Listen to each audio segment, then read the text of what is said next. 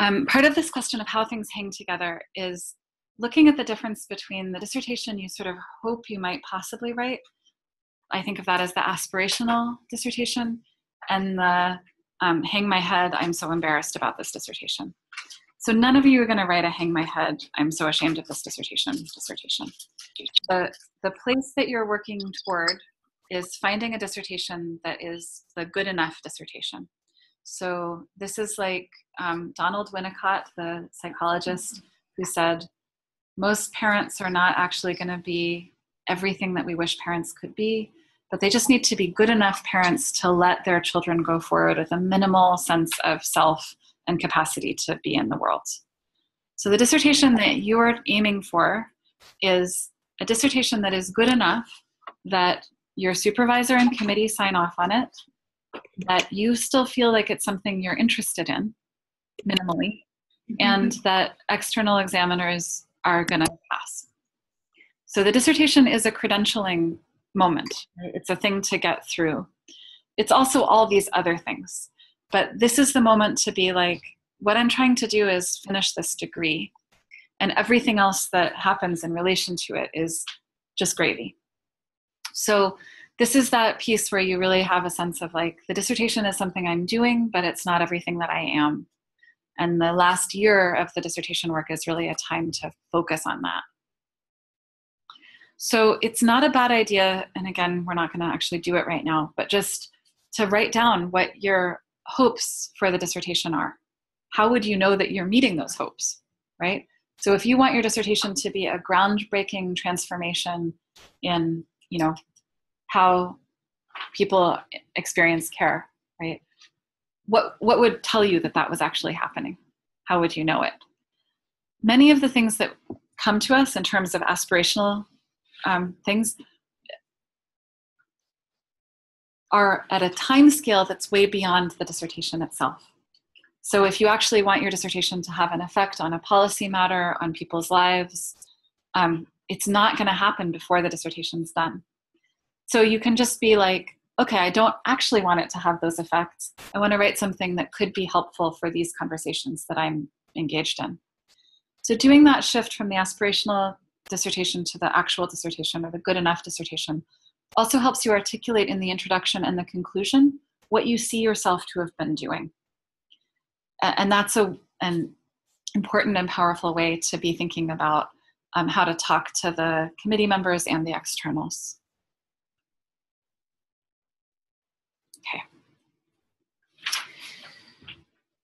Okay, so the timeline, I don't think we really need to talk about this very much, um, but it does really, um, it really helps if you actually relate to this. So um, the reason this helps is like right now, FGPA has 41 PhD defenses that they're trying to schedule before um, the term really starts so that people don't pay for fall tuition. And every time they have a dissertation defense, they have to find a room, they have to get the externals on board. There's all this stuff that happens, and it's um, super stressful. So, the more you can do to not be one of the people that's like, we couldn't find a chair for your dissertation on that date, um, or we couldn't find a room where there's only like three or four rooms on campus that have the capacity to um, beam people in in a stable way and they get booked up they get scheduled out. Like you can't you can't get them. So there's times where people end up paying another t- term of tuition because they mm-hmm. couldn't schedule a room. So you want to be the person who's the room's already scheduled and the only way to be that person is to finish the dissertation in time that the external says yes it's ready to go to, dis- to defense because that's the point at which fgpa will schedule it. So recognize that writing is nonlinear and time is arbitrary, and so you might as well be early, which is a really super hard thing to do because the impulse is to be like, when's the latest I can possibly defend the dissertation? But the fact is, everyone is doing that, and so everyone ends up getting um, packed in at the end. So, a kindness to yourself is to be like, pretend that early deadlines are real and behave accordingly. What does that look like from a, a month's perspective? Okay, so um, so this timeline is a, a timeline that will allow you to be one of the people who gets your room scheduled. So that means having the final defense copy to uploaded to Carleton Central six weeks before the defense. You actually have a month. Um, but if you do it a month before defense, you don't get your room scheduled necessarily. I mean, they try. They try really hard. Um, if you actually four months or three months before the defense date talk to your supervisor about who to get as an external and an internal, you'll have a pretty good chance of actually getting those people. Because each person who gets asked to um, examine a thesis often is someone who's getting asked to examine multiple theses at many um, schools. So you want to be one of the people that they're like, I'm sorry, I can't do some other person's thesis. I've already committed. Um, so the, I think the key thing here is the three months before, having a full draft that you submit to the committee, the whole committee, three months before. What that means is that your supervisor, you've had a conversation where you say, um, I would like to submit the full draft of the thesis to the committee. Are you comfortable signing off on it? So, what that does rhetorically is say to the committee, the supervisor feels that this is ready to go, and we're not making huge changes at this point. So, you've gone through enough of a process with the supervisor that they're feeling pretty done and they're ready for the committee to see it. Committees vary. So, sometimes committees have, like, you have a committee member who's very active um, but often you'll have not sent the whole thing to the committee. You'll send parts to them, or you'll have particular conversations with the people who are expert in a particular area. So, um, so this sending the final version, you know, um, it it usually takes. I'm a fast reader, and it takes it takes me about 12 hours to do a good reading of someone's full dissertation, um, and like and give reasonable comments. And most people will not do all 12 hours in one day. Um, most people don't need a full month to do it but they have other theses coming you know and they so it's also part of that like how long will they actually take to do it so it's reasonable to expect a two week turnaround on chapters and you want to build a pattern where you turn in a chapter and then you're not fretting about it you're finishing drafting the next stage of another chapter or you're doing revisions on the chapter that you got comments back on. So um, in our department, many of you will have seen this, um, this email from Darlene, our admin person, um, which basically lays out, I can pass it around, um, the dates, right? So you'd be, if you're defending at the end of the winter term, you'd be submitting the intention to defend at the end of February. So it's like surprisingly early. Um, if you're going to be doing, um, if you're going to be submitting drafts to your committee and you think about that two week gap, how long do you need to do revisions once they give you feedback?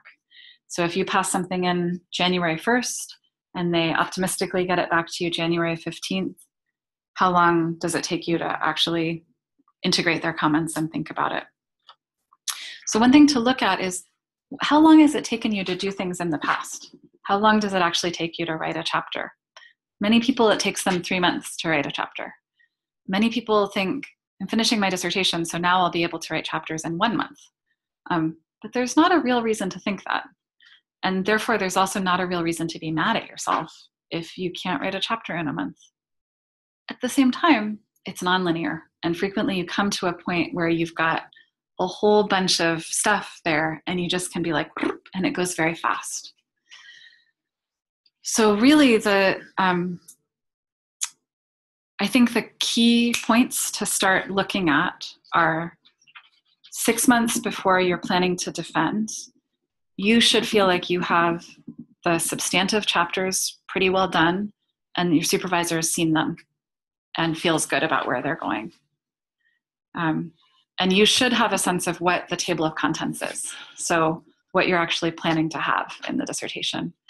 And then you can have a like, it would be nice to have this other stuff.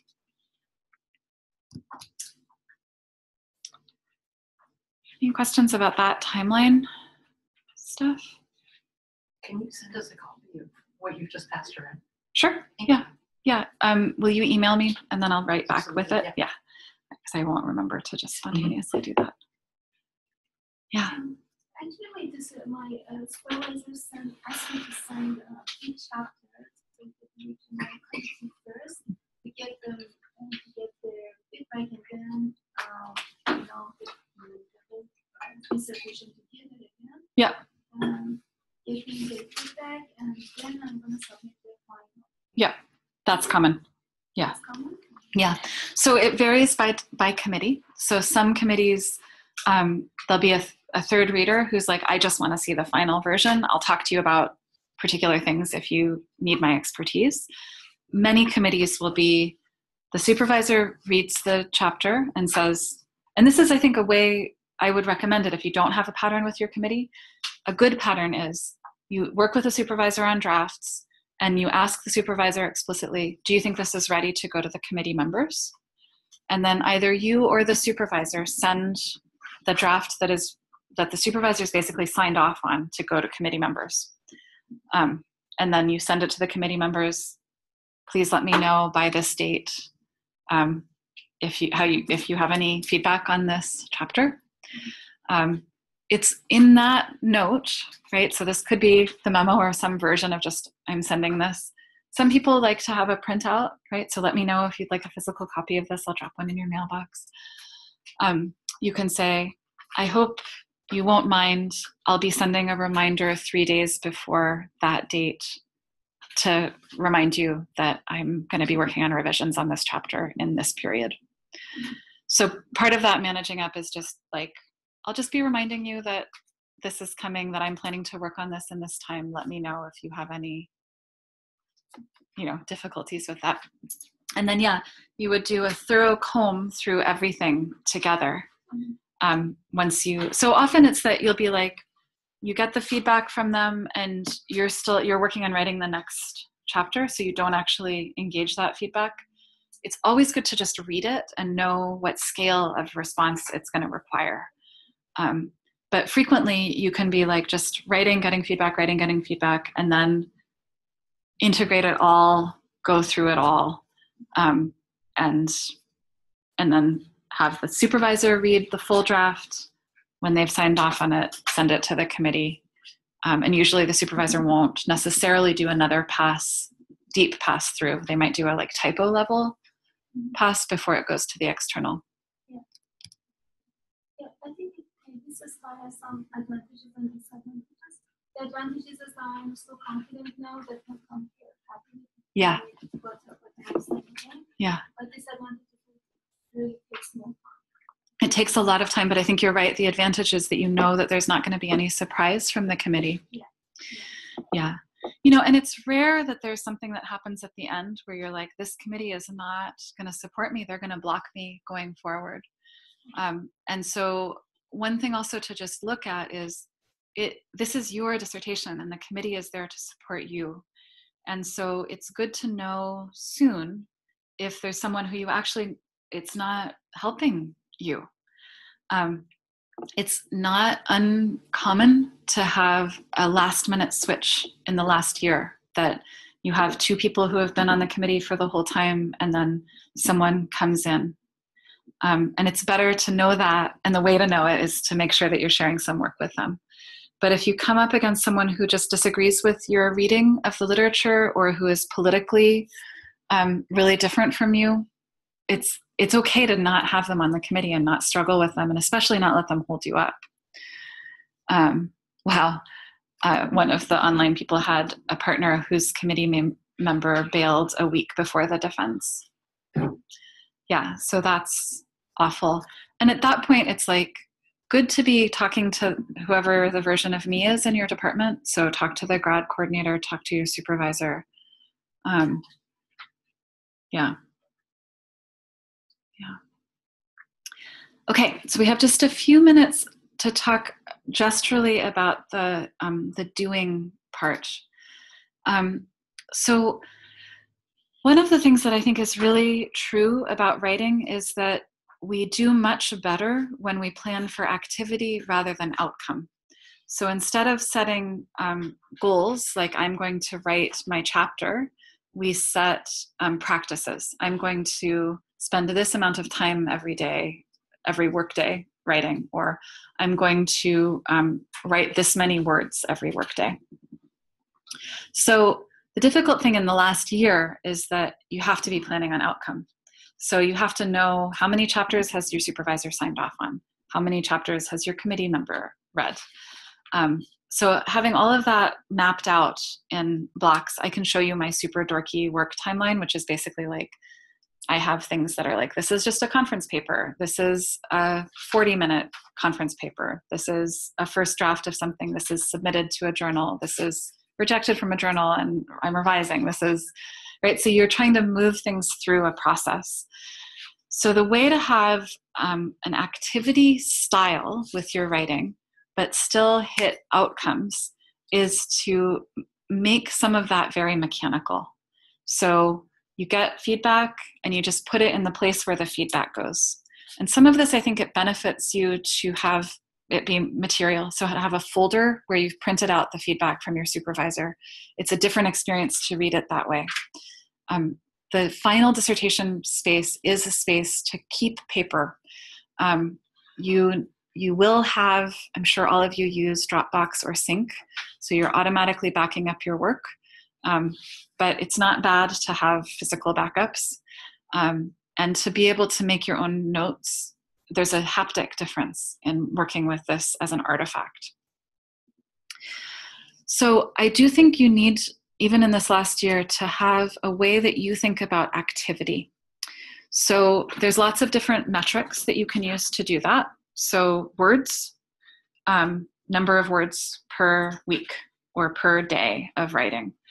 Um, I use the metric of units of work. So um, times where you've turned off the internet and your phone is not on and you're just writing for uninterrupted blocks of 45 minutes. So a certain number of units. For me, in my normal life and in the normal life of everyone I know, it is not possible to do more than three units of dedicated work for more than a week. So if you think that you're going to write your dissertation for six hours a day or eight hours a day, I don't think you're actually going to do that. Mm-hmm. Um, I think it's impossible to do and, and stay steady and um, happy and flourishing. So, what I want you to do is just internally understand that this is a tiring process, the last push, but you need a metric for what your activity is in finishing the dissertation that is not so tired I collapsed or um, so exhausted that I got really sick, and that's why I took a break. You need a different metric, which is a, an activity metric. Does anyone have any other activity metrics that they use to um, standardize or routinize their writing other than words or time? A friend shared that she started um, working on the same chapter for a month and then whatever mm. that last day of the month sends it to her supervisor for feedback even if it's some point form sections just to say nice. i'm done with this findings chapter let's talk to meet to talk about it or even if it's just talking through the ideas at that point and i thought that was a cool yeah. thing because instead of working for five months on the same chapter just kind of off yeah. my hands and yeah yeah so kind of like the um no how do you pronounce it? November no- novel oh, writing? yeah, yeah. Yeah. So there's a november writing thing where you write a novel in the month of november and there's academic versions of this too where you write an academic book in a month. Um, any other examples of things that are i love that as a unit a month month unit. And then switch it up whether you want to or not. Right. Or, yeah. Yeah just make it mechanical almost. Oh, yeah. yeah. yeah. I, I just for the past couple years have been treating school as a job where I pretend that there's hours that I have to yeah. be there. Nice. Um, and I found that it's really useful because I realized I was spending a lot of energy on thinking about where I wanted to work yeah. and when I wanted to work. And if it's just that I get up in the morning and I like trick myself thinking I have to be here by 9:30. Yeah. And then I allow myself to leave at four and say like I yeah. don't touch anything at night. Yeah. That it has been really useful. Yeah, that's great. Yeah. Ryan, you want to say something? Yeah, so I just started. Uh, I created like what I call a daily writing routine, mm-hmm. um, and it involves like a so I used I found something and it talked a bit with like a sports metaphor. So like before you like if somebody was like a baseball player, but they don't just go out and play the game. They actually have a warm up, Mm. and and then they then they play. And so I kind of went with that. So I actually have a warm up where I kind of review what the plan is and any reading that I'll have to do to kind of like that I want to be writing a, when I and then I go into a writing, Yep. and then I have a what I I call like a second period, and I do a little bit of um, okay, like cleaning up. I'll add in citations, do some of that admin stuff, and underline the key ideas that I was trying to write about, and then try to answer like what am I really trying to say. And then I have a third period where I do like revise and edits Mm. and then uh, then I have a cool down period where I just kind of okay bullet point. So what's what is what do I have to do next? Yeah. And then that becomes part of the warm up for the next day. That's And so and then I just try to actually have now where I'm trying to build that as a habit. So that's why it's like my daily writing routine, and then I'm tracking and I'm trying to get to 66 days in a row doing that. So that then it's just like because that's what I've read is kind of everyone says it takes 21 days to build a habit, but I've actually read where it's like 66 days for some people. So thinking if I can do it for 66 days, then this will actually become completely routinized. Nice. Yeah, and so that's really um, that's a wonderful way to think about this um, sort of feature that um, Cecilia was talking about too, which is um, having, especially in this moment of the finishing, having the idea that you can just wait until you're inspired to work on writing is um, not going to work. Um, and there's lots of stuff, more stuff I can say about this, but scheduling writing is going to work. Um, one way that people talk about this is recognizing that willpower is a thing we can build and get better at, but also it's kind of limited capacity, just like lifting weights, we get better the more we do it. Um, but the most you can take away any decision making option for your writing, the better. So, one way that people do this is to have if then loops. So, you set down, and it's very dorky, but it does seem to work. So, in Ryan's case, what he just illustrated is if it's first period, I do this. If it's second period, I do this. If it's fourth period, I plan for tomorrow. If it's first period, I look at what I planned during fourth period yesterday and or Alexa, if it's 9:30, I should be at work, right? If I'm at work, then I open the document. So having you can actually like write them down. What are your if thens? So um, if I'm writing, I have turned on cold turkey internet blocker. If I've turned on cold turkey internet blocker, I am writing. So these things that just let you um, loop in. Having an entry sequence or a kind of lift off. So this is this is a moment to start having some rituals and some features of rituals. So this is a moment to have a special mug that is the mug that you drink out of when you're writing your dissertation. Um, it's a moment to have a hat that you put on when you're in an, a unit and your kid isn't allowed to interrupt you. And when they try to interrupt you, you just point at the hat and they're like, oh, I see that you're writing because you're wearing that hat. and then you put on the hat. If I'm wearing the hat, I'm writing. So you can have lots of these things that enforce each other. This is the physical space. If I'm in this space, this is what I'm doing. For a lot of people, this is like, Stacy says she needs a hat. For a lot of people, this is a moment where you can buy a computer that does not connect to the internet, that does not at all connect to the internet, and be like, if I'm at that computer, I am writing my dissertation. And if I need to bring anything from the internet, I bring it on this USB key, like Tom Cruise um, running. So you have some sense that you build whatever the things are that support you, and you be like unabashedly cheesy about that.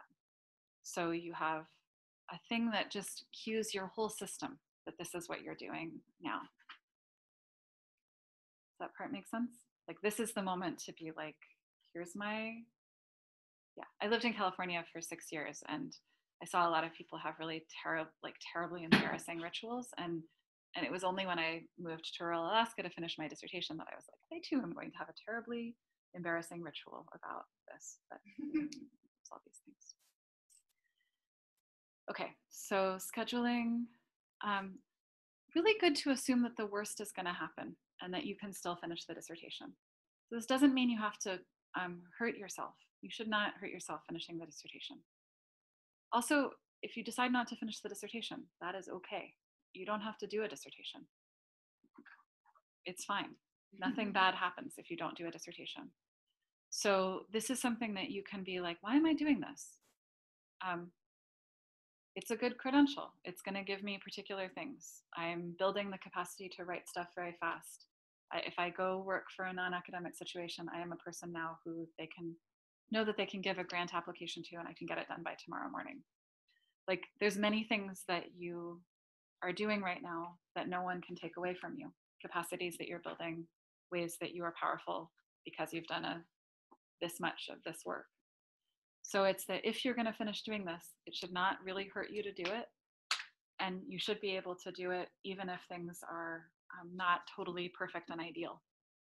So this is coming back to that quality of the good enough dissertation so that you can pass things in. I mean, the other thing that is great about Jana's friend being like, I just, I pass in the chapter at the end of the month is then you just, you've written that many drafts of chapters, you just pass them in. So part of the thing that I think really helps with that is limiting the work. So that is not trying to work eight hours a day on academic work, whether that's your dissertation or your TA-ship or your RA-ship. It's having a fixed and firm end time to your day. So you're never working until you're just about to go to bed, unless it's really an extraordinary circumstance. You know, sometimes all of us have a deadline that we have to meet, but it shouldn't be every day that you're staying up fretting about things and you're not actually functioning very well in those. Part of this is also about committing to taking breaks and play, having a sense that you deserve to enjoy your life and that you could die next week. So you don't want to look at your life and say, um, it was a waste of my life that I spent that week working on my dissertation in that way. Um, I had a dissertation student die um, and it was really interesting because it was that he, in an accident suddenly, it had only been about six months that I felt like if he died, um, this wouldn't have been a waste of his life. Um, like he he found a way to be with the dissertation that actually was a pleasure, and it really made me think about my own work and sort of why we do the things that we do in the way that we do them. So there is this narrative that you shouldn't be happy while you're writing a dissertation and especially while you're finishing a dissertation. And I do always think the death test is useful in that way. Like, is this the way you want to spend your life if you were going to die really soon? Um, and it's actually a reasonably good way to spend your life. It's you're doing an interesting thing that you probably kind of like. Um, but if you genuinely feel like this is terrible and you hate it and you hate yourself doing it, um, well, you probably need more breaks. And then maybe you'll find that you like it again. And you probably need to play more. And then you might find a way to be with it. So the last thing in part four, um, yeah. So um, Christina notes like if you have a partner who comes home from work, even if you're working at home, you can be like, work's over now. Like now I'm done with work. Um, so a thing that I think helps with this is regarding deadlines as very firm. So just relating to deadlines as arbitrarily firm.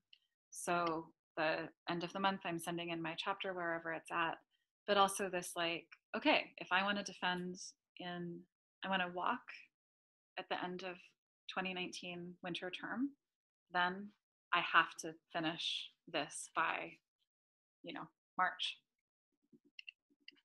So you're always going to write something good. You can just be done. Yeah. And then the last part is managing up the administrivia. So um, ideally, you have a supervisor who will be very attentive to the different deadlines and the different things that need to happen. But this is the point to go to your grad administrative assistant, who in your department will be the person who actually understands what the real deadlines are and when everything needs to happen, and write down fixed dates of when that needs to happen, and then back them up a week in order to talk to your supervisor and committee about them. Or if you know that your supervisor is bad at even responding to your email, like doesn't respond for three weeks, be like, I need your response on this three weeks before the actual deadline so that they actually get you the response by the actual deadline that the university needs. Um, and that's just again in this mode of fight the like be actually giving your energy to work, doing good work on your dissertation, not fighting with the administration because something didn't happen in time. It's irritating, I think, that you have to hold that role. Um, like ideally, you would have everyone would really understand what needed to happen and when. Um, and so I think it's just a, a sad fact that you, it's you're going to be the one who actually kind of has to know those things and take action based on them. Um, like most people, even if they're supervising someone, they're only supervising one, maybe they're supervising one PhD student a year who's graduating. Probably not even, but they won't remember what needs to happen or when, and they'll be sort of overbooked anyway. Um, yeah. Those are all the things I wanted to say. Does anyone have any um, comments or questions or things to share? Yeah. What is life like after your after your dissertation? So um, at the break, we were talking about how often what happens after you finish the dissertation is that you feel like really sad and flat um, and kind of let down. Um, and rarely do people actually feel like they experience the good the goodness of really being done. I was saying that one of the weird things in my program is that there was no defense, so I never had the um, I never had the experience of like people actually signed off on this, including people who weren't on my committee. One of the things that's good is we have defenses here. So one of the things that I encourage you to do is to let the people around you plan to celebrate you being done with your dissertation. Um, so ideally, you know, like ideally your supervisor, if you drink alcohol, will bring champagne to the defense. And if you're like, they're never going to do that, that's just not the way they are, like tell a friend. It would be great if you would bring champagne to my defense. Like let people come and celebrate you immediately when it's over. And then do something that's like both an ephemeral thing that's not, um, you know, like I'm going to spend the day at Spa Nordique if you like that. Um, but also, I really recommend planning to be able to buy something that is durable and beautiful that you would not get otherwise. That is a marker of your of your dissertation being done. So um, I like to buy art from friends, um, but people also get jewelry. Um, or uh, I know one person who got a really beautiful knife, kitchen knife, as their dissertation celebration.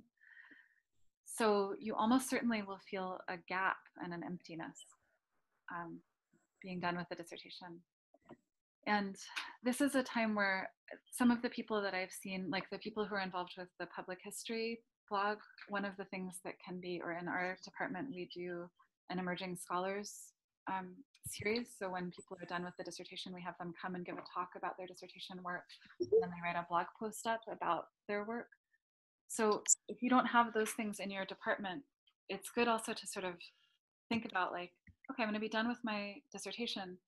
What might I want to like move into the next thing with it? So that could be you're going to be, um, you know, thinking about doing a postdoc or starting to apply for jobs or so that you start to really i think it's just all part of the like de-exceptionalizing the dissertation. So it's part of your everyday work, and then it's part of your everyday trajectory wherever you go, if you continue in academia or if you do something that there's a thread where it's all part of you. So it might be that you're like, I'm gonna ha- I'm gonna just try to explain to people why medieval political theory is totally relevant to, you know, understanding Rihanna. um, yeah, you could set yourself like now that I'm saying that, I'm like, yeah, I think that that actually you could totally write a really interesting blog post about that. and yeah. It's weird though. It's a weird thing to finish this kind of most people don't do most people don't do this. Most people don't do an exercise of this scope in their life. It's cool. It's great that you're getting so close. Thank you. Yeah, thank you for coming. Thank you. I'll see you around. Thank you, all you onliners. Feeling good?